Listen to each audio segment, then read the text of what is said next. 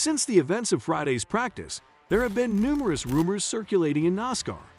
Officials expect that Hendricks Motorsports will face the harshest penalty ever imposed.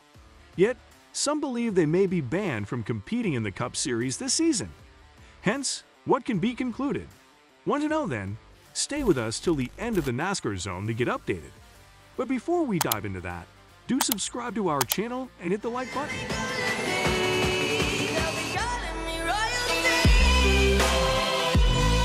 Officials from NASCAR removed the hood louvers from all four of Hendrick Motorsports Chevrolets while they were competing at Phoenix Raceway we did, you know, take some parts from the Hendrick cars. It's not uncharted waters, as you guys know. It's been around the sport for many years.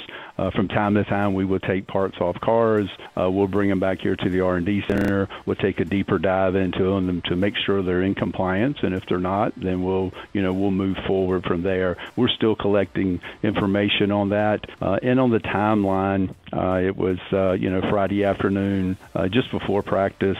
Uh, was getting ready to start, and uh, we didn't have all the information we needed at the time, so we allowed the teams to go ahead and practice. And once practice was over, uh, then we, you know, got with them. Uh, they were very respectful and cordial, and uh, we collected those parts, and um, they replaced them, and and uh, went out and had a you know a great weekend. This weekend, the Hendrick vehicles are not subject to any fines, and the results of any investigations into possible penalties will be released the following week. Before Saturday's inspection and in front of Sunday's qualifying, the Hendrick organization has the opportunity to replace the hood louvers. The hood louvers, which are visible on this next Gen 3D model, are apertures or vents in the hood that serve as a release point for ducts that move air out of the radiator. The purpose of the system is to isolate the performance of the engine from the performance of the car's aerodynamics. This will prevent teams from covering their air intakes which puts an unnecessary amount of strain and heat on the engine of the vehicle. Kyle Larson, driving the number 5 Chevrolet for Hendrick Motorsports, posted the quickest lap time during Friday's practice sessions, reaching a speed of 131.258 miles per hour with the number 48 car. Alex Bowman achieved third place overall with a speed of 130.725 miles per hour.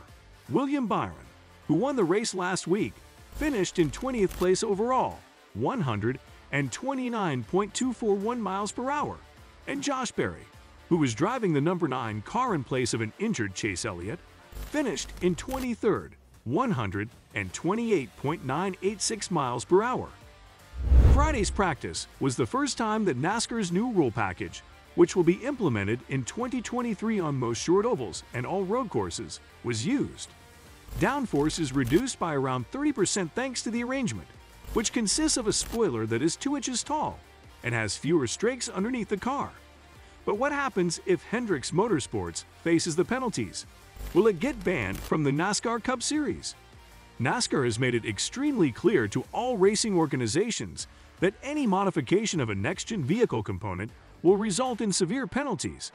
It was made abundantly plain to Hendrick Motorsports that they were not permitted to modify the hood louvers in any manner, even if they were having trouble making them fit properly. Let's examine what the next week may hold for the company. The most favorable outcome for Hendrick Motorsports would be if NASCAR identified something with which they disagree but which is not addressed to the rulebook. It is likely that this situation fits under the gray area category and that the team did not break the rules. In this instance, no penalties would be enforced, Instead, Hendrick Motorsports would receive a reprimand to remind them never to behave in this manner again. There is also the possibility that NASCAR will find nothing unlawful, in which case nothing will happen. The worst case scenario would involve the penalties issued to many teams throughout the previous season. NASCAR has continuously enforced the same free penalties for altering a next-gen part since the beginning of the previous season. The maximum amount of the punishment may be a $100,000 fine, in addition to a 100-point deduction for the driver and the owner, a four-race suspension for the crew chief, and a reduction of 10 playoff points. In the event that NASCAR discovers modifications on all four vehicles, each vehicle may be subject to the previously mentioned penalty. Due to the fact that the season is still early, it would be disastrous for each driver to lose 100 points, 10 playoff slots, $100,000, and their crew chiefs for four races. What are your opinions on the potential penalties or punishments that Hendrick Motorsports could face? Tell us in the comments section below. Be sure to hit the bell button and subscribe to our channel to get the latest updates. Now let's move further to Kyle Larson and his reaction to the Louvre saga. Kyle Larson was questioned by the NASCAR reporter for Fox Sports, Bob Pockrass, regarding whether or not the elimination of the hood louvers would have an effect on the pace that he had demonstrated. Uh, no, I mean, I I don't know anything about a race car anyway, so I had to ask what a louver was. But uh, joking a little bit there. But no, I mean, um, but yeah, I mean, yeah, you worry about potential penalties, I guess. But um, I don't really know what what was wrong with them. Um, that's not part of my, you know, job is to worry about that. Um, but yeah, so we'll see kind of how next week goes, I guess. I was to say, is there concern about this weekend? Just you know, No. any change from what you felt in practice yesterday? to Not. go? A, I mean, I'm just basing off of like what my crew chief kind of talks about, and no, we are not concerned at all. While on the other, Jeff Gordon, vice chairman of Hendrick Motorsports, stated that the theft of parts from all four cars on Friday was weighing on our thoughts coming into Sunday. I can tell you it was weighing on all of our minds, you know, coming into today, and, and certainly um, will continue. I mean, I, we had some conversations, we'll continue to have conversations with NASCAR. Um, you know, this is every situation sort of unique, but this one is a more unique one than I've seen in a while where there's been a lot of communication back and forth on this particular part, especially for this racetrack, um, you know, because they did a parity test in the wind tunnel. And so I think it, it really opened up the door for some miscommunication. And you know, I don't want to go into any further than that, but um, you know, we uh, will continue to, to just share all the facts and, and, and be transparent with NASCAR as we have so far. Rudy Fugle, the crew chief for Byron, gave praise to the organization's attention for the fact that the Hood Louvre concern did not interfere with their preparations for the weekend. Yeah, I mean, we, we have to. It, it's a, a test in mental strength, and that's just what it takes to, to be really good in this series. So we have to, you know, think about what the task is, you know, and we have to focus on this weekend. So that's that's what we all did. According to Gordon, the fact that the Hendrick cars performed so well in the race was evidence of the might of the organization. Yeah, I- I'd just say, you know, I was proud of these guys to go.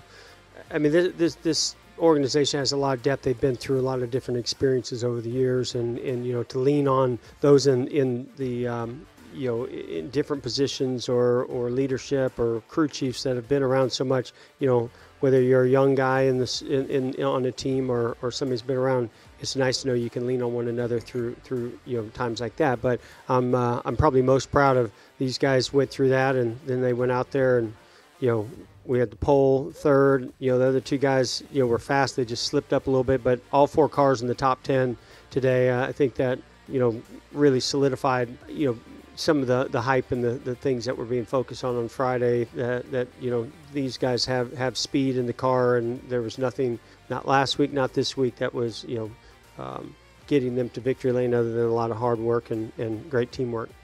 Sanctions for the team will be announced prior to the Ambetter Health 400, which will take place at Atlanta Motor Speedway. Until then, we don't know what happens. That's all for today. Hope you enjoyed it. Tell us in the comments what you think about the video. And don't forget to subscribe to our channel to see more of our videos on NASCAR updates. Look forward to seeing you in the next video.